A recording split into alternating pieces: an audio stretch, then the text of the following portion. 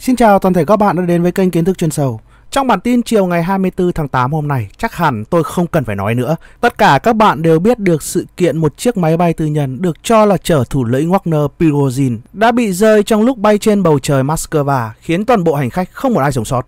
Lúc này rất nhiều các giả thiết đã được đưa ra, nhưng phần nhiều giả thuyết tới từ phương Tây cho rằng vụ việc này có liên quan tới bàn tay của Tổng thống Putin.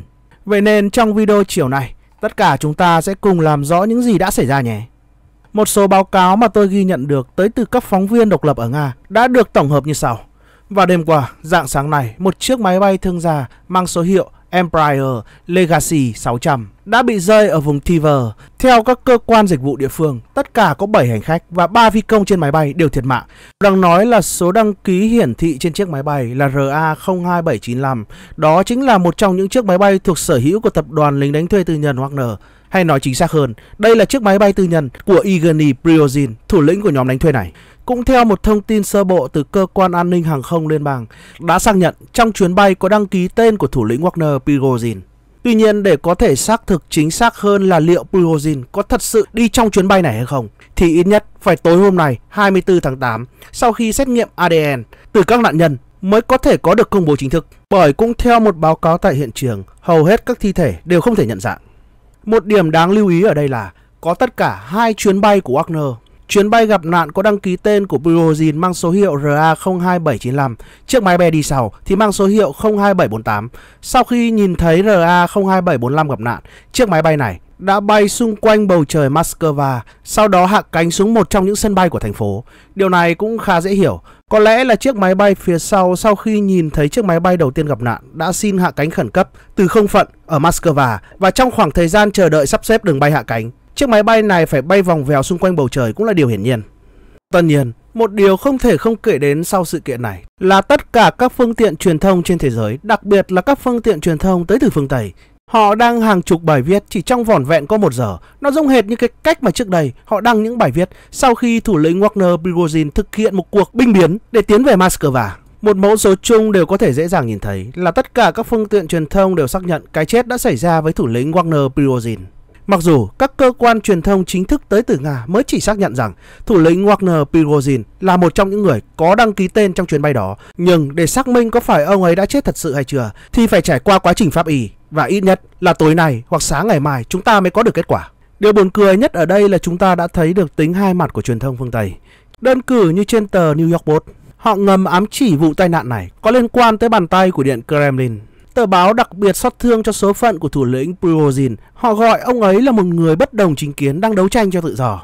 Vâng, được biết rằng cách đây 2 tháng cũng chính tờ báo này đã gọi cuộc đảo chính của thủ lĩnh Wagner Prigozhin là một cuộc đấu tranh vì tự do. Nhưng sau đó khi cuộc binh biến chỉ kết thúc trong vòng vỏn vẹn có 24 giờ và Prigozhin lại bất chợt xuất hiện tại Saint Petersburg để dự hội nghị thượng đỉnh giữa Nga và châu Phi. Tờ báo này cùng một số cơ quan phương Tây ngay lập tức quay 180 độ gọi Wagner và Prigozhin là những kẻ khủng bố. Nhưng giờ đây sau khi vụ tai nạn máy bay xảy ra, họ lại tiếp tục vừa nhổ lại liếm với những bài đăng đầy sự ám chỉ rằng Điện Kremlin có thể là những người đứng sau vụ việc này. Và họ quay sang than thần trách phận, xót thương cho số phận của một người đấu tranh cho tự do dân chủ là Prigozhin. Chưa dừng lại ở đó, ngay cả pháp sư kiêm tổng thống Joe Biden dường như khá là hứng thú. Ông ấy đã nói với các phóng viên rằng, sau sự việc xảy ra, tôi không hề ngạc nhiên về điều này. Không có nhiều chuyện xảy ra ở Nga mà không có Putin đứng đằng sau, nhưng tôi không đủ hiểu biết để có thể đưa ra câu trả lời vào lúc này. Trong khi đó, giám đốc CIA là William Pearl cũng đưa ra một lời phát biểu đầy ẩn ý như sau. Tôi nghĩ Putin là một tuyếp người thường cho rằng trả thù là một món ăn ngon nhất khi nguội. Nếu tôi là Prigozhin, tôi sẽ không sa thải người nếm thức ăn của mình. Dường như các quan chức tới từ Mỹ vào châu sau những tháng ngày im bặt, họ có cơ hội được nói, nói cho sướng miệng, nói để thỏa nỗi lòng, để chứng minh rằng mình không phải là quân cờ trên bàn cờ của Tổng thống Putin sau vụ đảo chính của Wagner. Không chỉ có Tổng thống Mỹ hay Giám đốc CIA mà Daniel Hopman, một cựu sĩ quan điều hành cấp cao của CIA, cũng tỏ ra nguy hiểm và trả lời Reuters như sau. Ông ấy muốn mọi người biết rằng ông ấy là một người tàn bạo và tàn nhẫn và bất kỳ ai phản bội Putin sẽ phải trả một cái giá rất đắt. Putin đang băng bó lại vết thương của mình. Trong khi Pavel Luzin, chuyên gia của Trung tâm Phân tích Chính sách châu Âu, thì cũng tỏ ra nguy hiểm không kém. Ông ấy nói rằng sau vụ rơi máy bay của Prigozhin đã cho thấy những vết nứt trong giới thượng lưu của Nga. Sự kiện này chứng tỏ giới tinh hoa Nga không hề đoàn kết. Mâu thuẫn trong điện Kremlin đang ngày càng gia tăng. Sự phối hợp giữa các nhánh khác nhau trong giới lãnh đạo của Nga đang tỏ ra thực sự tồi tệ. Nếu Vladimir Putin quyền lực như vậy, thì tại sao ông ấy không bắt giữ Prigozhin? Vâng, tôi không lạ truyền thông phương Tây, đặc biệt là các quan chức tới từ Mỹ và châu Âu. Mỗi khi nước Nga có xảy ra một chuyện gì đó trọng đại, y như rằng bọn họ đang bàn luận như kiểu nó sắp sụp đổ tới nơi. Cuối cùng, thì phía điện Kremlin hay Bộ Quốc phòng Nga cho tới tận lúc này mới chỉ xác nhận rằng chiếc máy bay bị rời có tên của Prigozhin trong đoàn bay. Nhưng cho tới lúc này kể cả truyền thông của Nga vẫn chưa xác nhận Prigozhin đã chết thật sự. Điều buồn cười ở đây là hiện tại FBI vẫn đang treo thưởng 250.000 đô la cho bất kỳ một ai có thể cung cấp những thông tin dẫn tới việc bắt giữ được thủ lĩnh Wagner Prigozhin vì tội can thiệp bầu cử Mỹ. Vâng, nó đúng kiểu là khi nào các bạn bôi xấu nước Nga thì các bạn sẽ là anh em, những người đi theo tự do dân chủ với cả chúng tôi. Còn khi không phải thì các bạn quay trở về làm khủng bố đi nhé.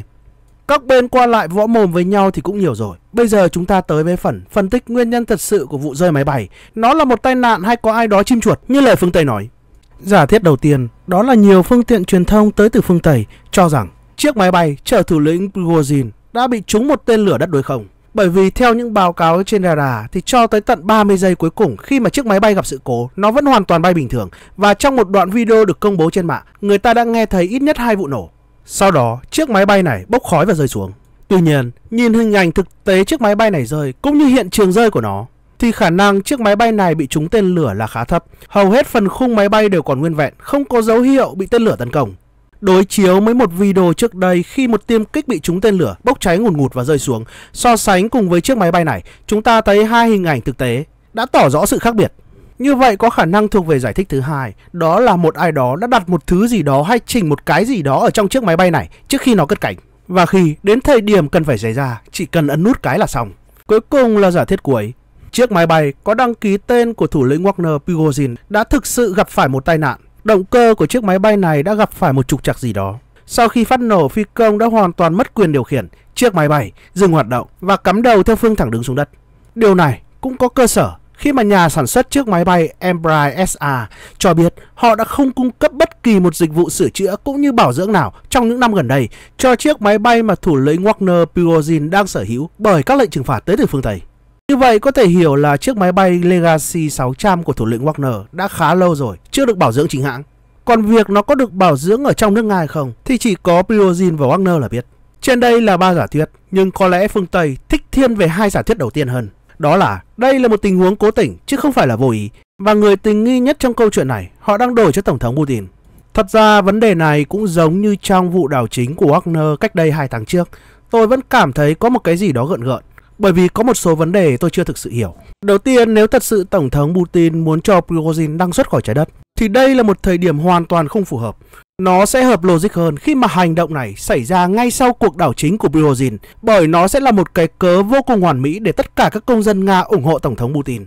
Và sẽ không ai thương xót cho một kẻ phản quốc. Tại thời điểm đó, nhưng kéo dài tới thời điểm này thì lại là một câu chuyện khác khác. Nhất là khi cách đây một tháng, trong hội nghị thượng đỉnh giữa Nga và châu Phi ở Saint Petersburg, thì chính thủ lĩnh Wagner Prigozhin cũng là một trong những người có mặt ở sự kiện đó. Ông ấy được cho là đã ký rất nhiều các hợp đồng quân sự mật với các quốc gia châu Phi, điều mà lực lượng quốc phòng của Nga ở ngoài sáng không thể làm được.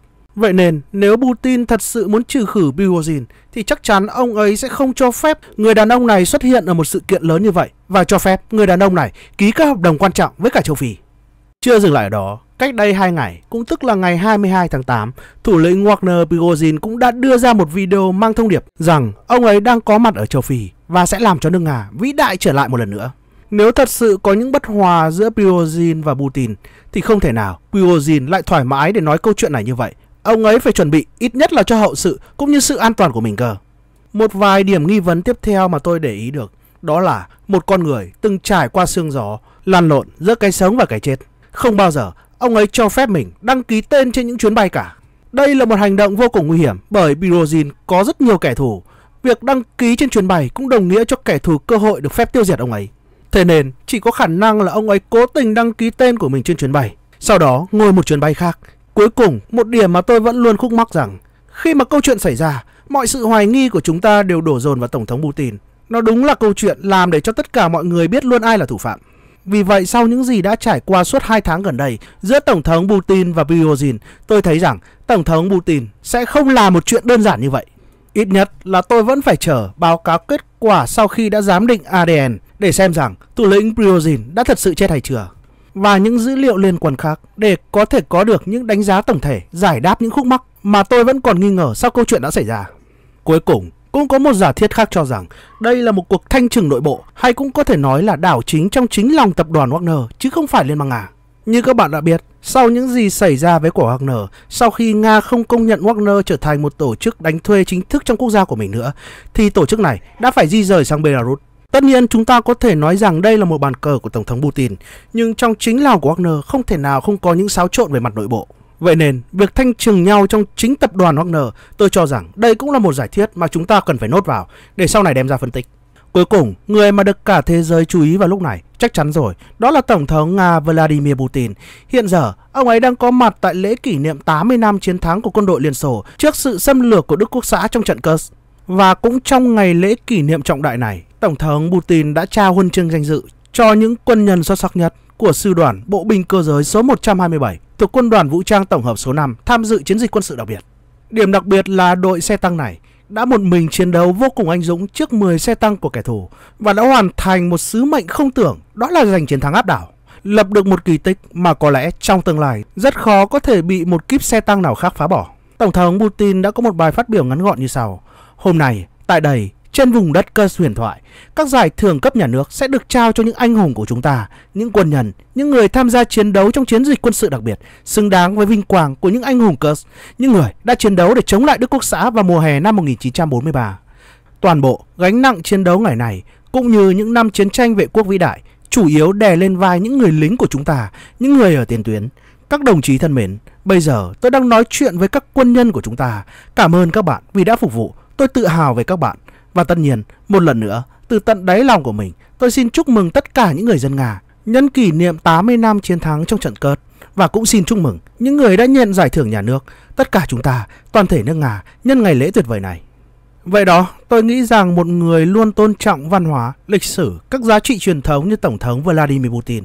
Mọi người có quyền đánh giá Tổng thống Putin là một người tốt hay người xấu, nhưng với công dân của Liên bang Nga, ông ấy xứng đáng được mệnh danh là đại đế cho những công hiến để vực dậy nước Nga của mình trong suốt những năm tháng qua.